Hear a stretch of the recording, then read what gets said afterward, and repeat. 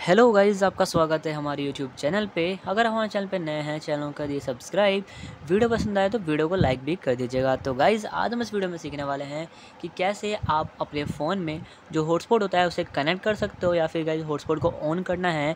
और गाइज़ आपको जैसे कि हॉटस्पॉट आप किसी को देते हो तो उसे आप कैसे मतलब हॉटस्पॉट कनेक्ट कर सकते हो या फिर हॉटस्पॉट से रिलेटेड हॉटस्पॉट का पासवर्ड चेंज करना हो हॉटस्पॉट का डिवाइस नेम चेंज करना हो हॉटस्पॉट से रिलेटेड जितनी भी सेटिंग्स होती है, सारी आपको मैं इस वीडियो में बताने वाला हूँ। तो चलिए गए वीडियो को शुरू कर लेते हैं।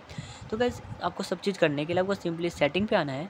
सेटिंग पर जैसे ही आप आएँगे तो आपको यहाँ पे एक ऑप्शन देखने को मिल जाता है पोर्टेबल हॉटस्पॉट का। तो सिंपली जो पोर्टेबल हॉटस्पॉट का आपका ऑप्शन दिख रहा है, उस पर आप सिंपली क्लिक कर दीजिए। और जैसे आप गए जिस पोर्टेबल हॉटस्पॉट पर क्लिक करते हैं, आपके सामने आपको कई सारे ऑप्शन आपको यहाँ पे देखने को मिल जाते हैं। गाइज़ आपको पहला ऑप्शन देखने को मिलता है पोर्टेबल हॉटस्पॉट, यानी कि आप अगर आपने हॉटस्पॉट को ऑन करना चाहते हैं तो सिंपली आपको यहाँ पर क्लिक कर देना है। जिससे क्या होगा, जो आपका हॉटस्पॉट है वो ऑन हो जाएगा, ऐसा आप हॉटस्पॉट को ऑन कर सकते हैं?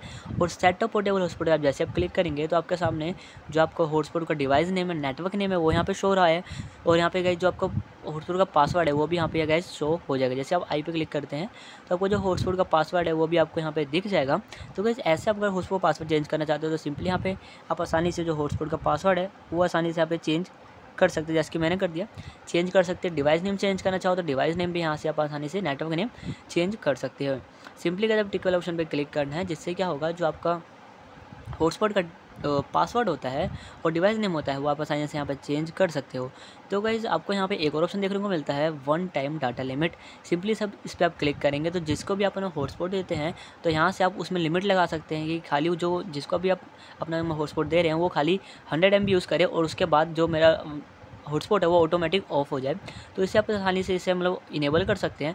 जिससे क्या होता है, जिसको भी आप अपना हॉटस्पॉट देंगे, वो खाली इतना ही एम यूज़ कर पाएगा जितने कि आपने इसमें लिमिट लगा रखी है।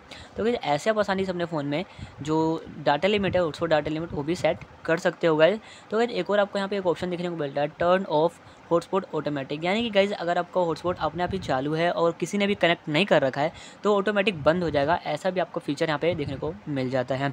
सिंपली गाइज़ आपको इसको ऑफ़ कर देना है और यहाँ से जो आपके हॉटस्पॉट की जो सारी सेटिंग है, जिससे आप गाइज़ हॉटस्पॉट का पासवर्ड चेंज कर सकते हो, हॉटस्पॉट में डाटा लिमिट लगा सकते हो और हॉटस्पॉट ऑन ऑफ़ करना है यहाँ पे तो आप जानते हो तो गाइज़ ऐसे आप कर सकते हो। आई होप गाइज़ आपको वीडियो अच्छी लगी हो। तो गाइज़ आपको वीडियो थोड़ी सी भी इन्फॉर्मेटिव लगी हो वीडियो थोड़ी सी भी अच्छी लगी हो तो वीडियो को प्लीज़ लाइक कर दीजिएगा।